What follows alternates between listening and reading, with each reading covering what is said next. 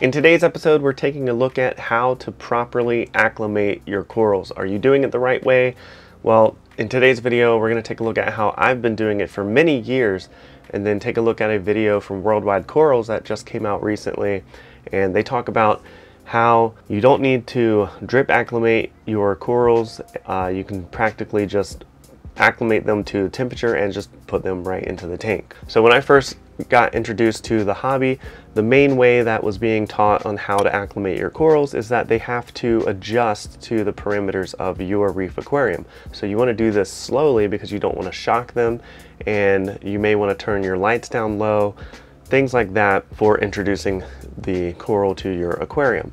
So that would be taking the bags that the corals came in, putting them in your sump or in your display, floating them for like 15 minutes, uh, getting them adjusted to the temperature, and then emptying those bags into a separate container and then slowly dripping uh, water from your display tank into that container and then at least getting twice the volume of water in your container as you drip that and you want like a few seconds per drip to slowly acclimate them to your tank's parameter. Now the only thing with that is as you're dripping into the container, the temperature in that container is changing. So it's going kind of down and then back up uh, because you're dripping for like 30, 45 minutes. Another possible con to that is whenever you get your corals from a online retailer and they have to fly them overnight to your door, that's a pretty stressful event for some corals and then getting them and then putting them into a container and making them wait even longer to get in your tank and then putting them into a coral dip bath for like another 10 minutes or so is even more stressful on that coral and then once you get that in your tank it may not do well. So corals themselves are self-acclimating and they can adapt and change to different conditions within the reef aquarium and there's a lot of guidelines and rules out there about what levels in your tank as far as like alkalinity swings that a coral can handle. You don't want a big swing. But when you're bringing home a coral from your local fish store or maybe you get one shipped to you overnight, it's coming from a system that already supports corals. So the water chemistry in those tanks should be relatively close to the parameters that are in your home aquarium.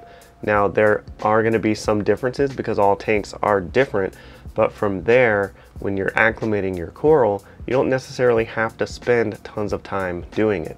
So World Wide Corals, which is a very popular name in the reef aquarium hobby, whenever they send you a coral shipment from them, they have a specific way that they acclimate their corals. So they'll send you an acclimation guide but they basically take the corals out of the bags that they came in, put them in a Tupperware or a separate container, and then add some of your uh, tank water to that container.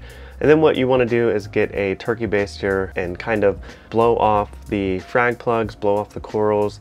Uh, you're inspecting the corals at this stage. You're looking for any kind of um, parasite or any kind of bugs or anything that you can see with your eyes, any kind of flatworms, anything that's disturbing the coral, you're trying to inspect and visually get rid of that with the turkey baster. Now, once you're done inspecting the corals, they recommend getting the coral into the tank as quickly as possible. So as soon as you're done, don't even worry about dipping the coral, put it right into your reef tank.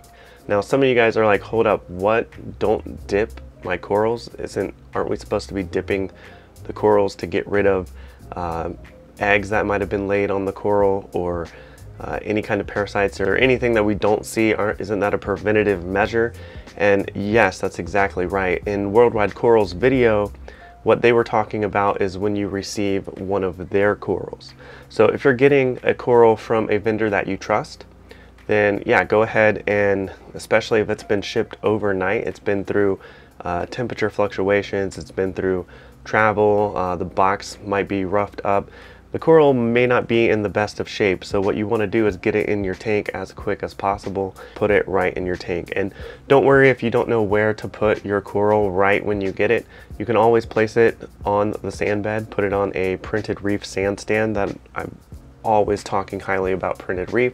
They make great products for your coral frags that can support them in the sand bed, on the rock, wherever you want to put them before you make your final decision or maybe you just like the look of keeping them in the in their stands But once you get them in the tank, put them low on your sand bed and then worry about the next steps. So that's the school of thought about drip acclimating is that it takes too long and that it may just be a big waste of time. If you're getting it from a trusted source, uh, like in World Wide Corals video, they talk about specifically the corals that you're receiving from them, you can go ahead and put them in your tank and then wait a few days. And then if you want to dip them, go ahead and dip them after a couple days. Now you may be worried about pests being introduced into your system. Um, what they said in their video is that, well, the pests are adapting too, and they're adjusting to the parameters too. So you may have a little bit of wiggle room there. Um, I like to dip my corals. I use Revive by Two Little Fishies and I've always dipped my corals. So let me know in the comments below how you've been acclimating your corals in your reef aquarium. Do you drip acclimate them or do you just temperature acclimate them, look at them and then put them in your reef tank? Do you always dip your corals? Let me know in the comments below and if you want to watch another video all about coral placement, I made this video right here just for you. Thank you so much for watching, liking, and subscribing to the Coral Reef Talk, and I will see you in the next one.